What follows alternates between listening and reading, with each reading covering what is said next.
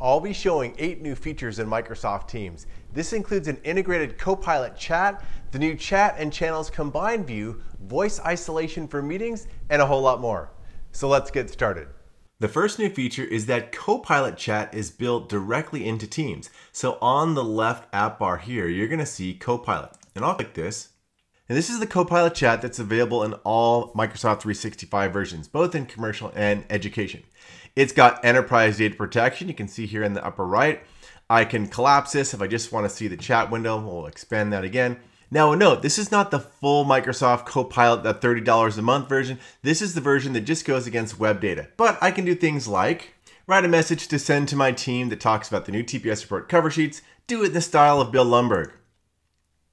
All right, here's a message in the classic Bill Lumbergh style. Mm, yeah, about those TPS report cover sheets. So you can do all those same types of things. You get the thumbs up, thumbs down. You can read it out loud. Sure thing, Mike. Here's a message in classic Bill Lumbergh style that. And if I want to create a new chat, I can go right here. You've got some recommendations on ways to get started. You can see more, you know, what are analysts saying about some competitor this quarter. So lots of great interactions. I'm not going to go deep into this, but it is Copilot Chat. It's all available. You can add content, etc. You can also go and get agents. And there's lots of different agents that you can get. I can also create my own agents, either this button here or click create agent.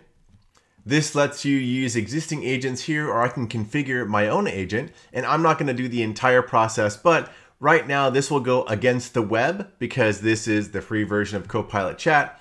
You can add different prompts and create your agents. We've got different videos on that, but this is just to show that you have the full Copilot chat right here inside of Teams. The second new feature is the new combined chat and channels experience that you can enable. By default, you still have the same app bar here where you have your teams separate from your chat, just like you see here. But now, if I go into settings, I'll hit the three dot menu, go to settings, and I'm gonna go down to chats and channels. And you can see here, I've got this combined view that I can choose right here. And I'm gonna show what that looks like. Also a note for education customers, this is now optional to be able to turn on as well. You first have to go into list, so by default, education goes to grid. So first change it to list, and then you can go to combined. And I'm gonna show what that looks like.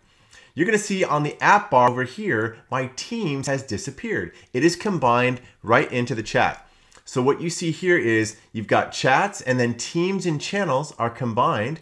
You got your favorites. So I've got a little section here I have for favorites and I'm going to show how this works. So all of my chats are right here and I can see everything. If I want to go to the three dot menu, I can see teams and channels, which is the default, or I can see channels only. So if I goes to channels only, this is going to make everything from my teams into one big flat list of channels. And then I can do things like sort it. So I can say A to Z. I can show all my channels sorted here, or I can show unread only at the top. I'll go back to here, or even most recent. So now if I go unread only, I can see, oh, there was a update right here in the TPS report zone, and there was another update here. I can see all of them like this. So what it does is, this is filtered out all my teams. If I just want to see channels here, Everything now is in the chat, so I don't have different places to go for chats or channels. I'm going to go back and go to the default, which is teams and channels. This shows all my teams still. And if I want to add these little sections here like favorites, let's say I want to add a science channel up to favorites.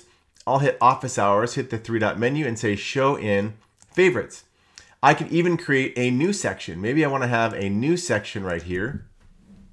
Mike's stuff, hit create. And again, I can go and add things into that. Now I'll say show in Mike's stuff and it adds it right there. So this is a whole new way to work if you want to have that merged chats and channels experience.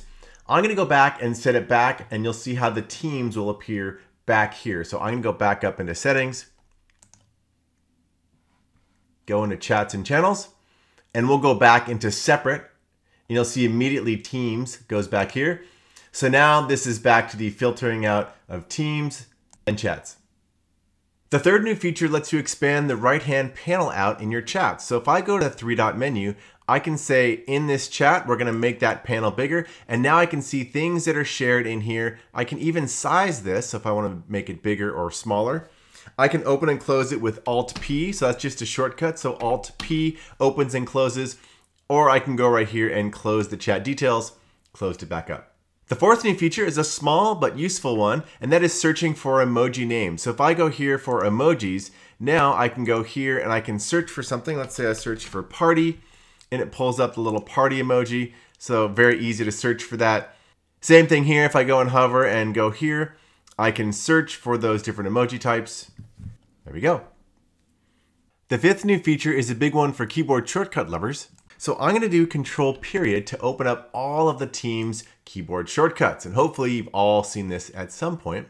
Now, when I hover though, I can edit. So I can edit any of these keyboard shortcuts. So if I want to change something like toggle details pane from Alt P, I click edit shortcut and I can change it to something different. Maybe I want Alt L. Oh, this one says that's the keyboard shortcut to open the loop page. So it'll tell you if you're gonna have a conflict. So we'll not do that one. Instead, we might do Alt K. And then when I save that, it can change that shortcut to my new one.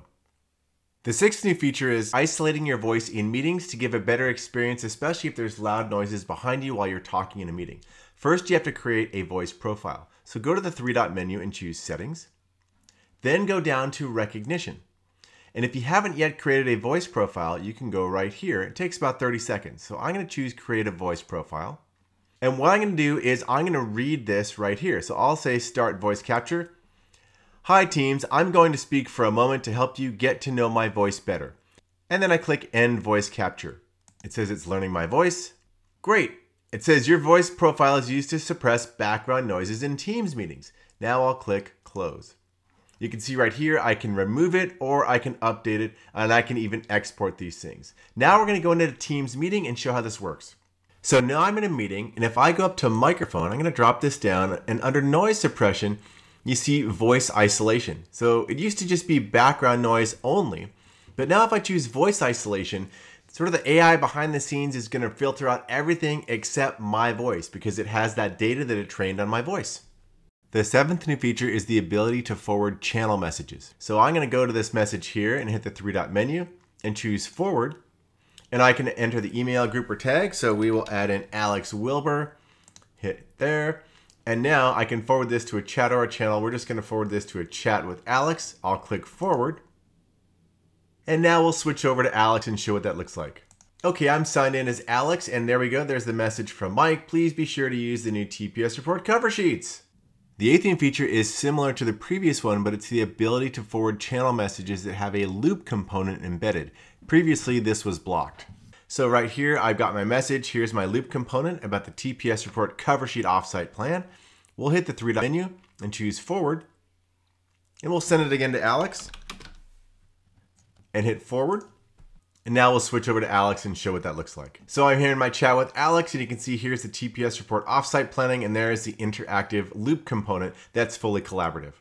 If you want to keep up with all the latest Microsoft updates and tips and tricks, subscribe to my channel and then just ring the bell so you get all the latest videos that I post.